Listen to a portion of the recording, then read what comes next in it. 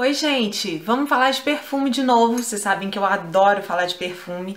E hoje eu tô com esse Egeu Bomb Caramel, do Boticário.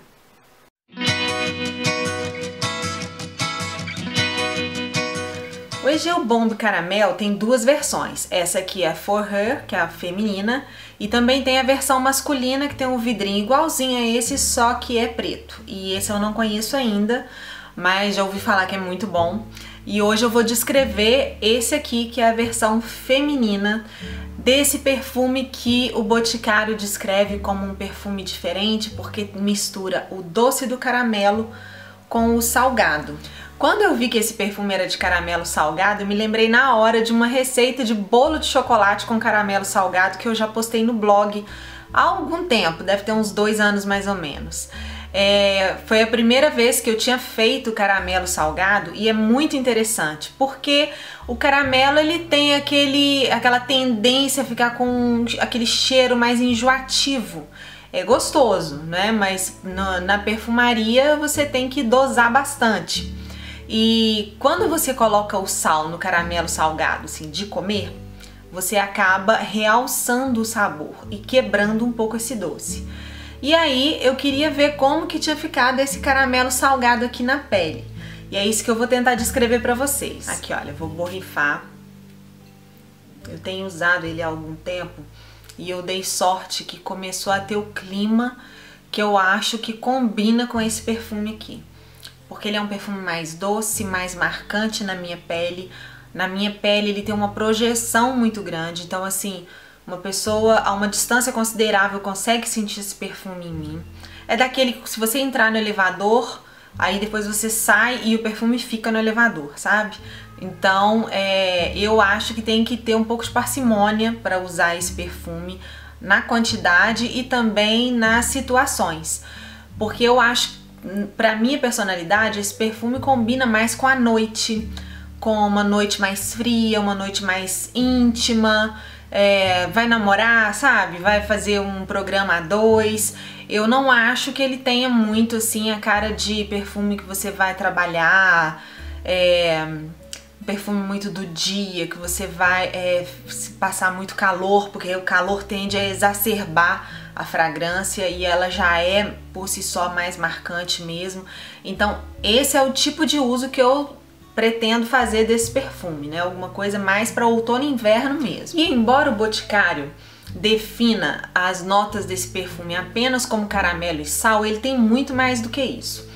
Nesse comecinho, nas notas de saída, eu sinto uma calda de cereja, uma calda de, de frutas vermelhas mesmo, com uma cereja sobressaindo e é aquele perfume mais frutado aberto, sabe?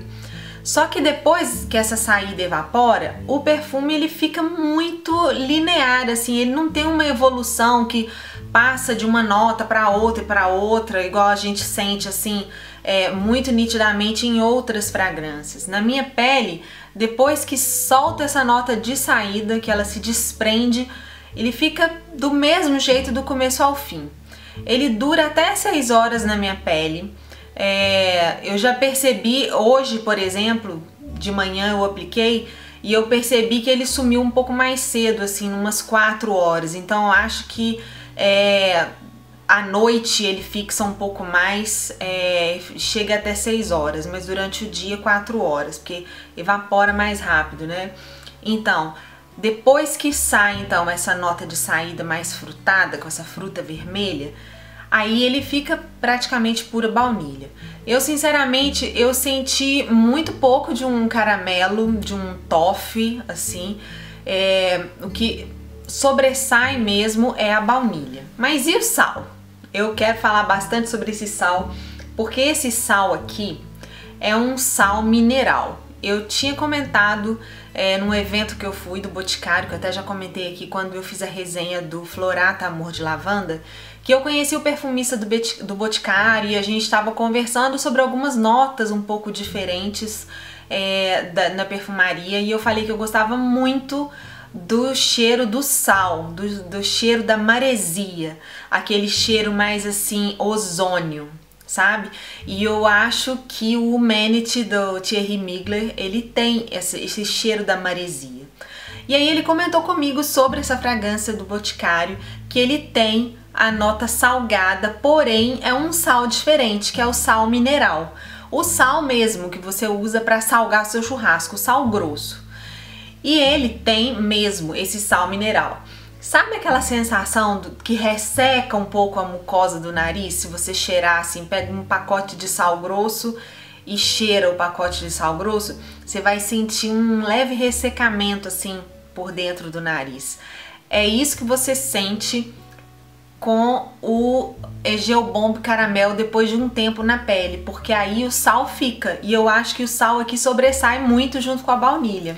Então eu achei que ele é um perfume quente, encorpado, é, que aparece mesmo, como eu falei. Então acho que ele é mais apropriado no meu estilo de ser um perfume mais intimista e agora para esse outono e inverno. E, inclusive eu acho que tem tudo a ver mesmo, porque eu acho que ele foi lançado ano passado para a campanha do Dia dos Namorados do Boticário. Então eu acho que tem tudo a ver mesmo. Ele tem essa pegada romântica, sabe? De fazer um fondue a dois, de sair para namorar. Eu acho que tem então tudo tá a ver. Aqui, gente, olha, 90 ml que vem esse frasco. É, achei bem legal o fato de não ser transparente, porque para conservação do perfume é, o abrigo da luz é, é muito importante, né? É, parece um como se fosse assim, uma cerâmica branca. Não dá para perceber mesmo se é vidro porque aqui tem um adesivo, mas deve ser vidro mesmo. Mas pode muito bem ser uma cerâmica branca, viu? Mas não dá pra saber por aqui não. É, 90ml está custando atualmente R$ reais, ainda é encontrado no, no site e nas lojas do Boticário. Então tá aqui minha resenha, eu espero muito que vocês tenham gostado. Ah, e uma coisa muito importante, viu gente? Não acho que é um tipo de perfume feito para todo mundo gostar, não. Acho que ele é mais é, nichado mesmo. Então não aconselho comprar às cegas. É, é bem interessante passar na loja perceber essa fragrância primeiro e como que ela vai ficar na sua pele, se ela vai ficar muito forte, porque muitas pessoas tendem a achar esse tipo de perfume enjoativo. Então, não é o tipo de perfume que eu compraria às cegas, tá? Vale lembrar isso. Um beijo e até o próximo vídeo.